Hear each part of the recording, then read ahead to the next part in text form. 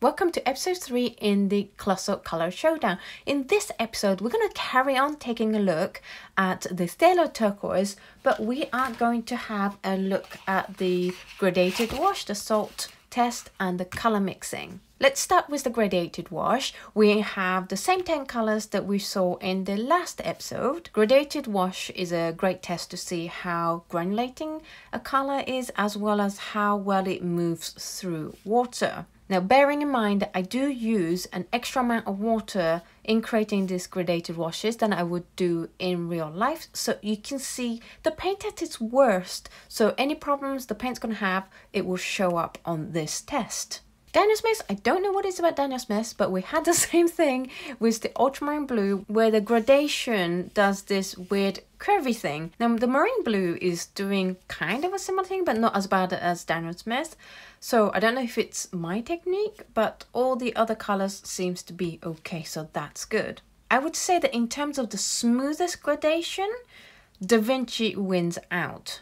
I know QoR is supposed to be the one with the artificial oxgall. It's supposed to rush across the water. I'm not finding that so far with the ultramarine blue and the phthalo turquoise, but the Da Vinci one for both colors have just whooshed across the page and you can almost see that speed in the colors because you get these very very very subtle lines going across which kind of expresses the speed at which the pigments moved.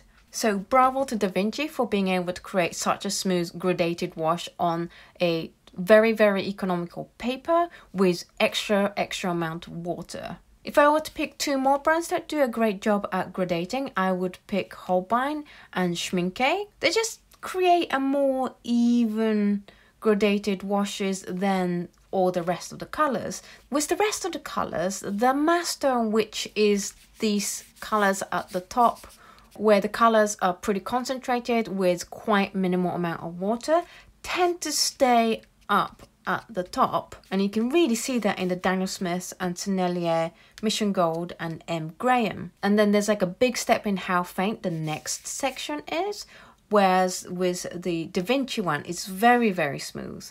I would say the worst culprits at this is definitely M. Graham, Daniel Smith, Sennelier, Mission Gold, and QoR, surprisingly, with Winsor Newton and Lukas being no bad at it. So if you do do a lot of gradated wash, do consider Da Vinci, Holbein or Schmincke before you consider all the other colours. Let's now look at the salt test. Just like the salt test in ultramarine, I am surprised to see the results of this test because the reactions were so varied.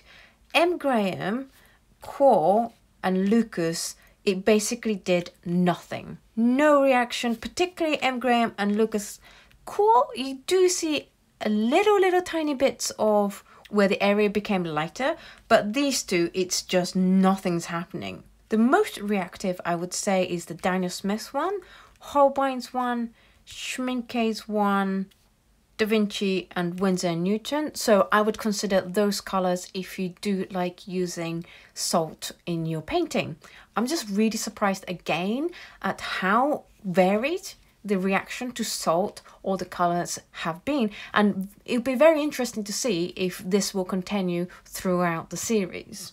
And I don't usually have a good word to say about Winsor Newton personally, but I have to say I do like the pattern that this one created. It's really, really nice. And then finally, we take a look at the color mixes. I said in the last episode that doing 12 color mixes for all the colors kind of nearly drove me mad. So with suggestions from my dear patrons, we've taken down the number of colors to four colors. We're going to be mixing each episode's color with its complementary. In this case, for Phthalo Turquoise, it is a warm red. So here I'm using Permanent Red by Daniel Smith. And then we're going to mix with three primary colors. And for that, I did choose the CMY colors rather than red, yellow, and blue. And the reason for that is the queens and the phthalos really helped me in the last episode to see how weak or strong a particular color's tinting strength was, whereas colors for red, yellow, and blue don't tend to tell me that information quite as much.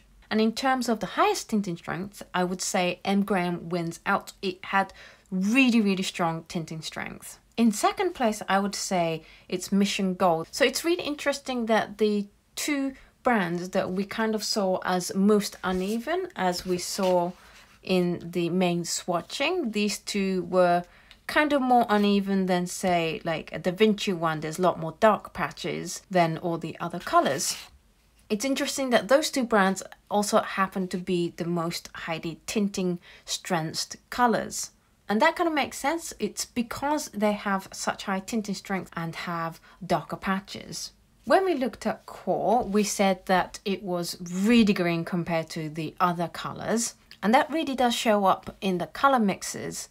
Because it's more towards the green, the complementary color needs to be a little bit of a cooler red than the permanent red. This is phthalo turquoise being a lot more green. So let's say we're over here.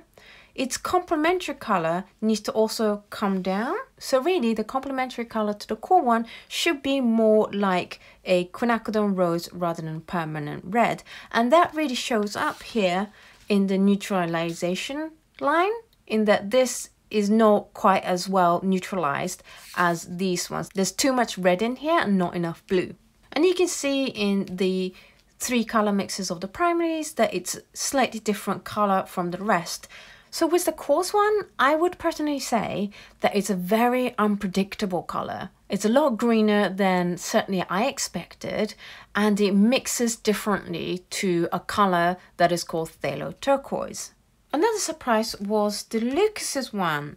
I would have thought it being full of fillers and things that the colours would be really not nice. But don't hate these colours. I think they're fine. So that's a surprise to me. I really would have thought that the colours would be more chalky and horrible. In this comparison, it's not that bad, I have to admit. I wouldn't say it's as good as the rest, but it's also not as bad as I would have thought a colour with a filler would perform. So that was all the tests we did and we compared 10 phthalo turquoises. Which one is your favourite? I still really like the Daniel Smith one, but I do tip my hats off to Da Vinci for creating a very smooth colour that is also very good at doing gradated washes. I am very impressed by Da Vinci's work. And maybe once I run out of all my many tubes of Phthalo Turquoise by Daniel Smith that I have, I might move on to buying Da Vinci's one. The one that I was least impressed with, won't surprise you, it is the QoR one. It's just too green and it behaves in such an odd way and there's don't seem to be any other quality advantage over the rest to warrant how weird this one is. It doesn't do smooth gradation, it mixes weird and it doesn't react to salt. But because colour is perceived so differently by different people, it may be that this is your perfect phthalo turquoise and the rest are the wrong colours. If you do want to give the Phthalo turquoises a go and you want to do your own comparison, I will be doing Phthalo turquoise as next month's Patreon reward dot card.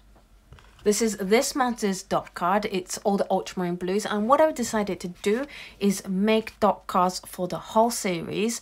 So this month is going to be ultramarine blue. Next month is going to be phthalo turquoise and so on and so forth. So for the first 10 months of 2019, you get to try out the colors I've used in this series. I hope you like that plan. I'm very excited by it. So if you do want to try phthalo turquoise, do sign up for my Patreon rewards. But next month. And if you want to try the ultramarine blue, I do still have few spaces left for the ultramarine blue. So do sign up for the ultramarine blue if you're interested in that as soon as possible. It'd be very interesting to know if this series is changing your mind about what brand you like the most. So do let me know in the comments down below what colour is your favourite before seeing this episode and what colour is now your favourite if it has changed. And if you do want to give any of these colors a go, then I have left links for each of this color and where you can get them in the description down below. If this video was interesting and useful to you, then please do give it a thumbs up, subscribe to this channel if you haven't done so already. Thank you so much for watching this video and I will see you in the next video. Bye!